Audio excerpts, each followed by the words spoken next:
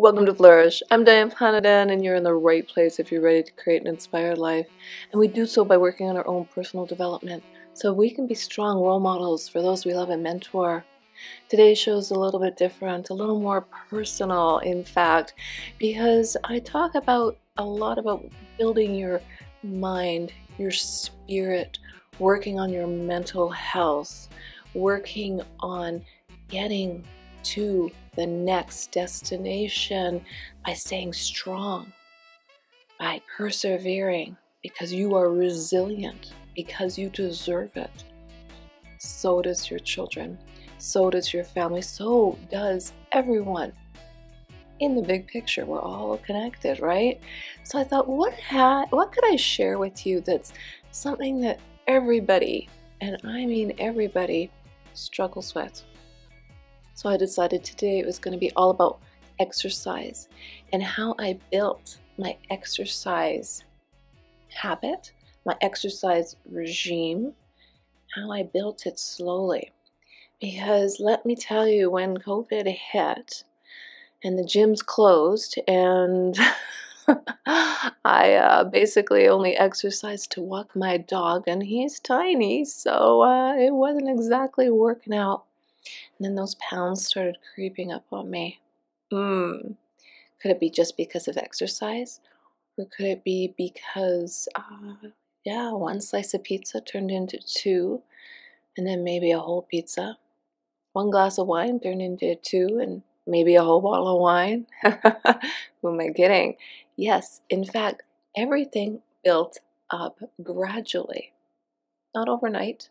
The pounds don't go on overnight nor do they come off overnight. And if you've been watching the show, you probably saw that, hey, you know, has she gained weight? Yeah, yes, I did. So uh, once I started observing myself, I took the first step and I started reading books on health and habit and how it was formed. Big reality check in that mirror, you know, like I had a couple of choices I could choose to stay in the status quo. I could choose to, oh, I don't know, maybe buy more clothes, bigger ones, right? Or I could choose to take back control of my body, take control of what I chose to feed it, what I chose to do with it or not and what I chose to help me get that way. And a funny thing happened. I thought I read all these books. I think I wrote I think I read five books on habits and what you have to do and how you have to put your running shoes beside your bed as a cue in order to exercise. Well, that didn't work. The cues didn't work for me. Literally didn't work. I thought nothing is going to change until I do. So I looked into different uh, home gym equipment. COVID, yikes. They, everyone sold out across the universe. And I happened upon uh, the Peloton website. And I thought, oh man, those are expensive bikes. Could they really be that worth it? And well, lucky for me, I thought, oh, I, I just I don't have that cash right now. Uh, I've allocated all my funds towards other projects, etc. And they had a payment program, so I thought, you know what, I'll go for it. I didn't know at the time there was these huge Peloton groups online and buy and sell groups and people who bought it and went, eh, I don't buy that Kool-Aid.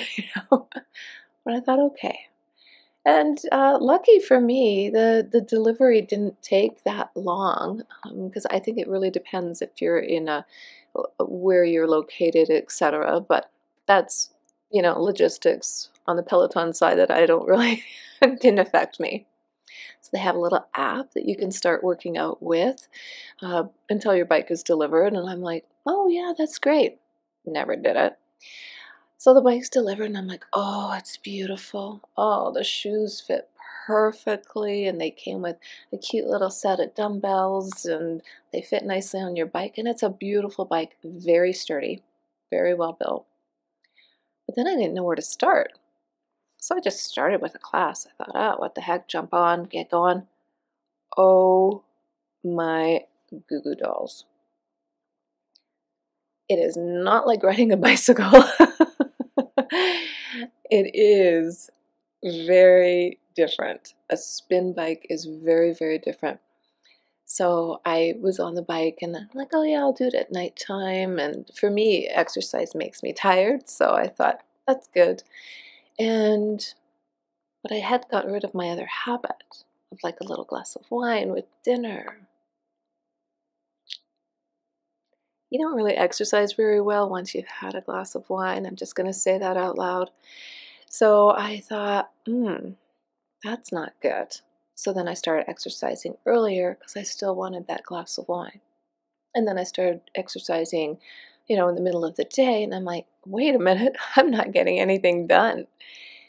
And then I decided, okay, and, and a lot of false starts here. I'm not going to sugarcoat it here. A lot of false starts, a lot of days when I didn't even get on the bike, a lot of days when I didn't even think about exercising, a lot of struggle. I had to embrace the struggle.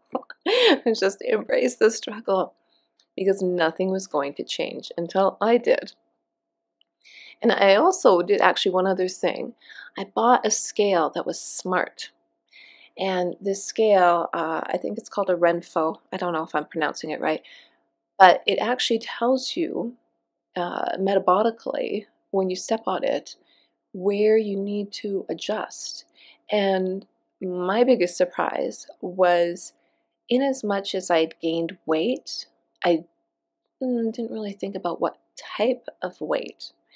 And it was literally body fat percentage and this scale does not lie, regardless of what the actual weight was in kilos or pounds, the percentage it shared with me of body fat was shocking. So, reset button. Let's cut down on the fat. Let's pick up on that exercise regime and make uh, uh, and make a conscious decision in order to reprogram the subconscious. In order for me to make this exercise regime a habit that just was on autopilot every day, I had to consciously be aware and make decisions and choices. What am I doing? What am I eating? Etc. So I approached this exercise regime the same way I approached starting this podcast. I thought, what have I done in the past that's really worked? What have I done, no matter what, that's worked? So when I started this podcast, I told myself, I'm going to do 10 episodes.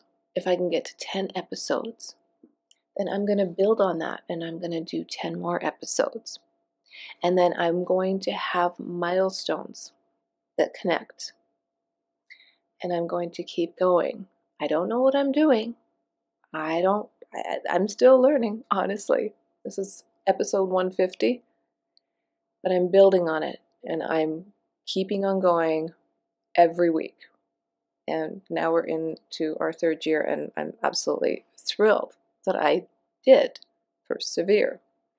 Because some days it was easy to say, eh, not today, maybe tomorrow.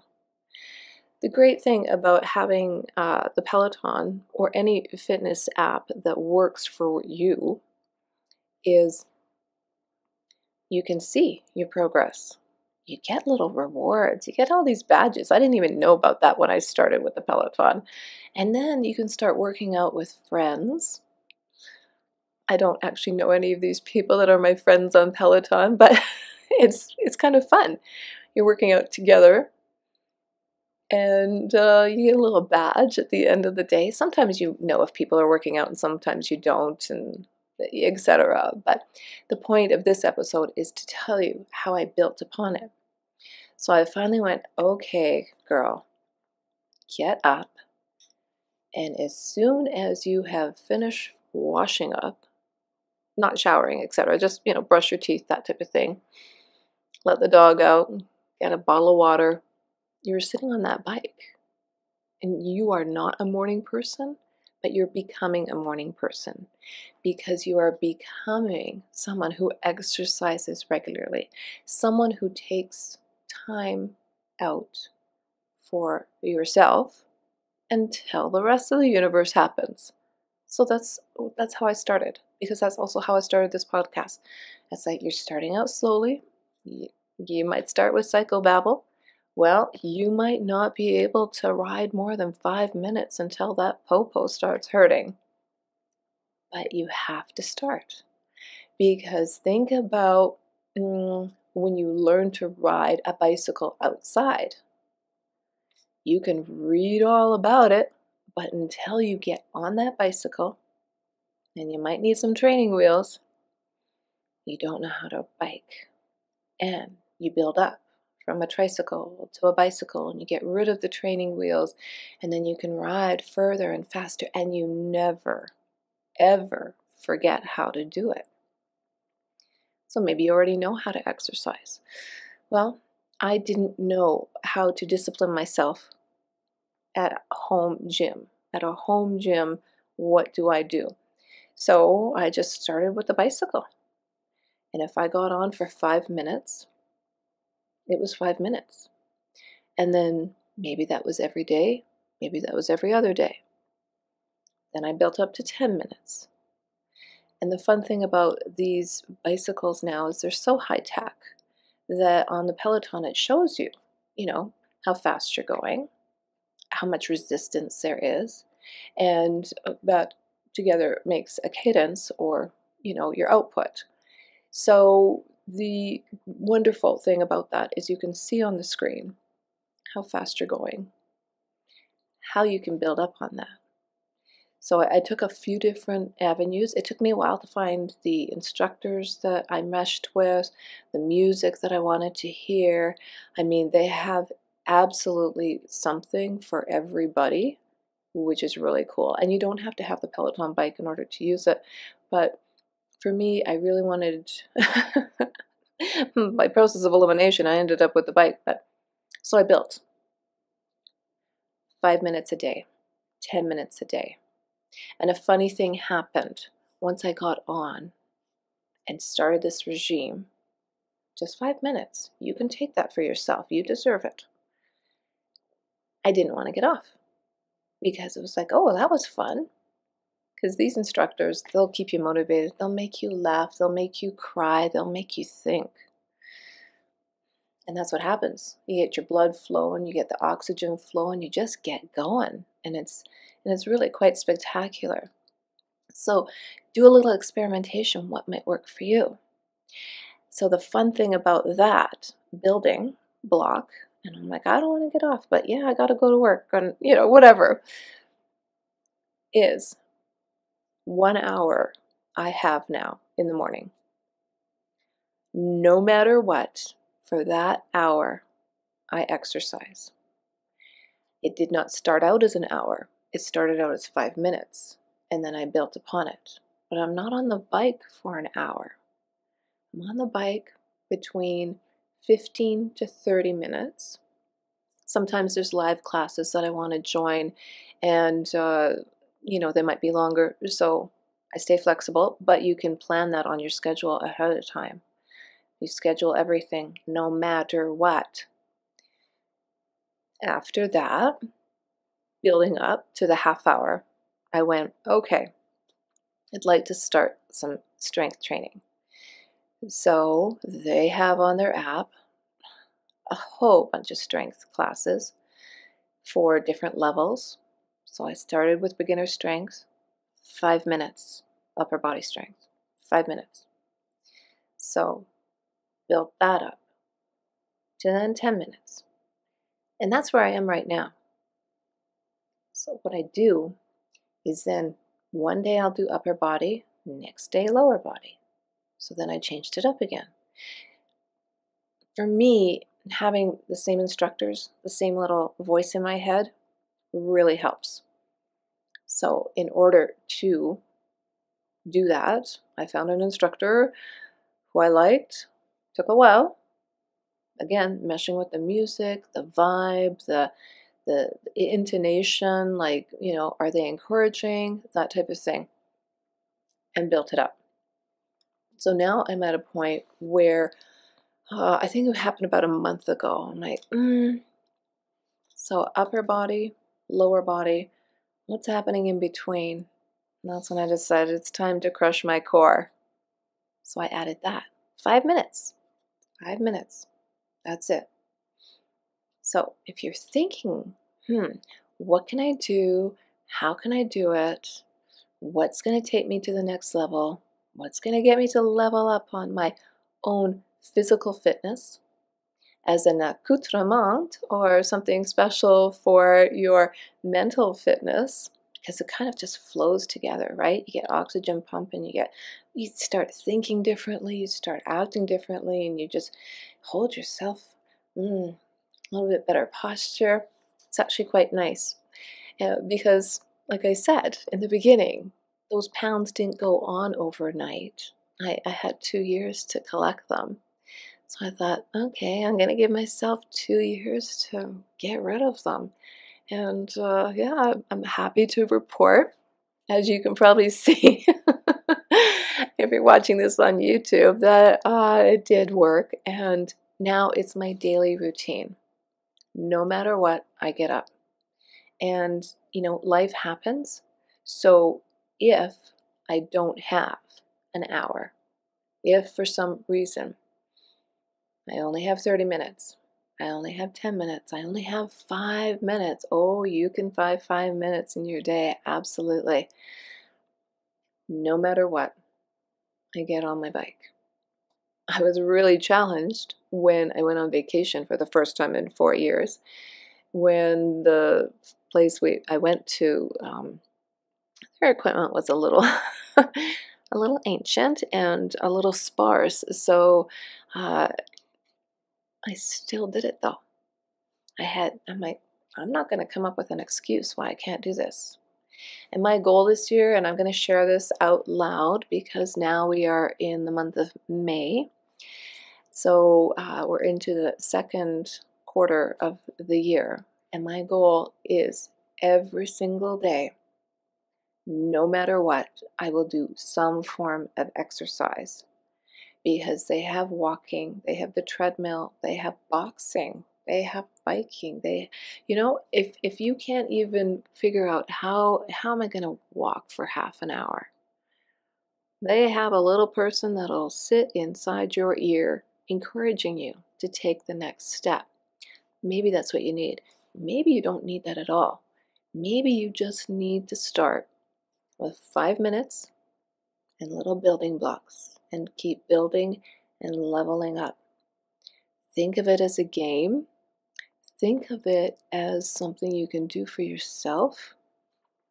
Think of it as maybe your personal time before everybody else gets out of bed and needs uh, breakfast, the dog needs walking, um, oh, you know, where's Johnny's backpack, all that stuff. It takes time to build upon, though, but you deserve this and you can take the time.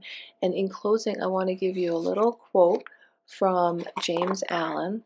And he says, because I, I like people to know I don't make this stuff up, the body is the servant of the mind. It obeys the operations of the mind, whether they be deliberately chosen or automatically expressed. Ah, strong, pure, and happy thoughts build up the body in vigor and grace.